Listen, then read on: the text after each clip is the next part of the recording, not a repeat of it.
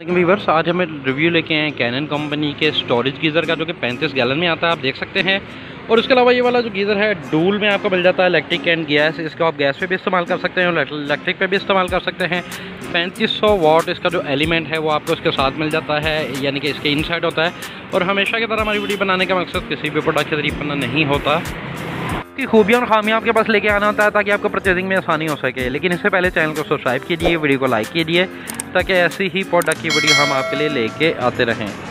पहले इसकी बात कर लेते हैं, इसकी टैंक स्टोरेज की। इसका जो बाहर वाला जो टैंक है, ये वाला, ये बाईस गेज का आपको मिल जाता है। इसका जो इनसे टैंक आता है, जो राउंड में होता है, वो सोलह गेज का, जबकि इसका टॉप और बॉटम टॉप जहाँ पर भाप का प्रेशर होता है और बॉटम जहाँ पानी आके गिरता है, वो 12 गेज का आपको मिल जाता है। इसके अलावा इसके इनसाइड जो एलिमेंट आता है, वो 3500 वाट आता है। और पैंतीस वाट अगर एक घंटा चले तो है, आपका एक डोमेस्टिक यूनिट जो है, वो खर्च होता है। अगर चादर की बात करें तो हम कंपनी से आप इसे कंपेयर करते हैं तो इसकी जो चादर है वो काफ़ी हल्की है। जबकि कैनन एक ब्रांडेड कंपनी है और उसके बाद आपको वाटर गेज मिल जाती है जो कि हमेशा से नहीं चलती। ये एज इट इज़ रहेगी ख़रीदने से पहले और ख़रीदने के बाद। इसकी थर्मोस्टेट की बात कर लें तो इसका जो थर्मोस्टेट है वो आपको टेस्ले का मिल जाता है, जो कि फैसलाबाद की एक कंपनी है और ये वाला जो गीज़र है, ये इग्निशन के साथ मिल जाता है। ये इसका पुश बटन है, इस पुश बटन को आप 10 सेकंड तक प्रेस करके रखेंगे तो इसका जो अग्निशन है जो बर्नल है वो ऑन हो जाएगा और ये वाला इसका पायलट है। पायलट जो है उसको आप प्रेस करके रखेंगे 10 सेकंड तक तो उसकी जो कच्ची गैस है वो निकल जाएगी। इसका जो ये वाला हिस्सा है, ये इसका इलेक्ट्रिक वायर का है। इलेक्ट्रिक वायर यहाँ से कनेक्ट होगी जो कि पैंतीस वाट में आता है।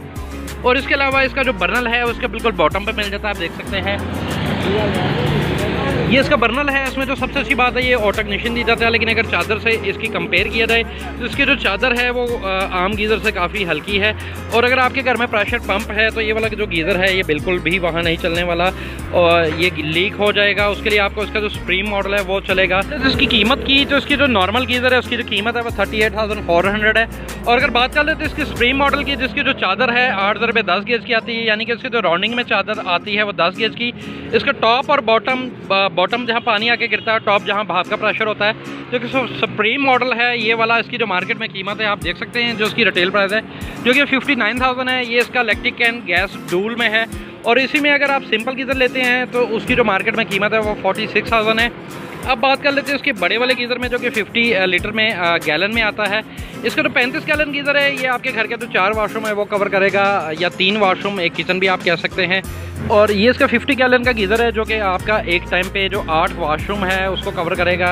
ये इसकी गेज है, जो कि आपको टेम्परेचर बताएगी, लेकिन हमेशा की तरह ये ख़रीदने से पहले और ख़रीदने के बाद यहीं रहेगी।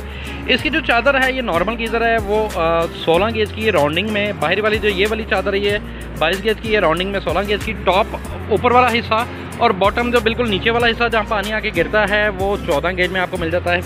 थर्मोसेट की बात कर लें तो थर्मोसेट इसमें टेस्ले का मिल जाता है जो कि फैसलाबाद की काफ़ी पुरानी कंपनी है और इम्पोर्टेड थर्मोसेट बनाने वाली कंपनी है। और इसका जो 50 गैलन गीज़र है इसकी जो मार्केट में कीमत है आस्किंग प्राइस वो 51,000 है।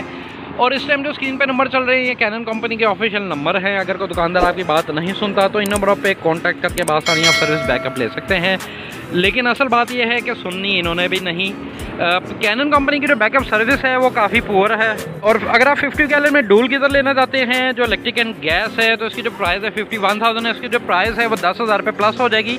तकरीबन साठ हज़ार या सिक्सटी वन थाउज़ेंड के करीब उसकी जो कीमत है, वो होगी। ये फिफ्टी लीटर स्टोरेज गीज़र है जो आपके एक टाइम पे आठ वाशरूम जो है, वो कवर करेगा। भी गेज गीज़र लेना चाहते हैं तो इसमें जो स्प्रीम गीज़र है, वो ये वाला है, जो स्प्रीम गीज़र है। कैनन कंपनी का वाटर हीटर है इलेक्ट्रिक एंड गैस के साथ ये आपको मिल जाता है। पैंतीस सौ वाट का इसमें एलिमेंट आता है। और पैंतीस सौ वाट अगर एक घंटा मुसलसल चले तो ये आपके एक डोमेस्टिक यूनिट जो है, वो खर्च होंगे। उसके अलावा आप देख सकते हैं इसमें जो सबसे अच्छी बात है, उसमें आपको ऑटोग्निशन मिल जाती है, उसमें आपको मैनुअली बर्नर ऑन करने की ज़रूरत नहीं है। ये जो नॉब है, इसको आप 10 सेकंड तक प्रेस करके रखते हैं तो उसमें जो इग्निशन है, वो जो है, वो ऑटो ऑन हो जाएगी। लेकिन उसके लिए करना आपने ये है, इसके अंदर वाली साइड पे एक सेल डलता है, जो कि आपको छः महीने या एक साल बाद आपको डालना पड़ेगा। इसकी बात कर लें तो कीमत जो है एज यूजल जो कैनन ब्रांडेड कंपनी है, कीमत जो है, वो इसकी आम की तरफ़ से काफ़ी ज़्यादा है। और बाकी आप जो चादर है, वो आप देख चुके हैं। वीडियो अच्छे लगे तो चैनल को सब्सक्राइब कीजिए, वीडियो को लाइक कीजिए, ताकि ऐसी ही वीडियो हम आपके लिए लेके आते रहें।